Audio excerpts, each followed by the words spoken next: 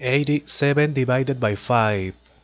8 is not less, therefore with 8.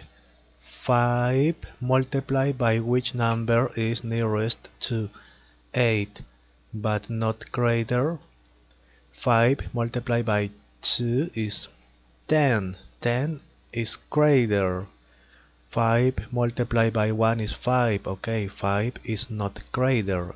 8 minus 5 is 3. Next, 37.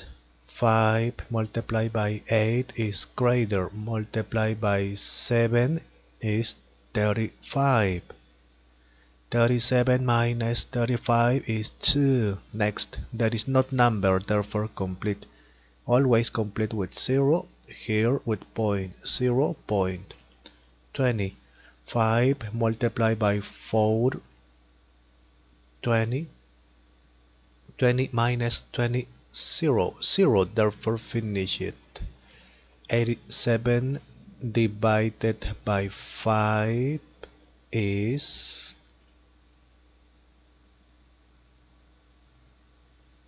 finish it.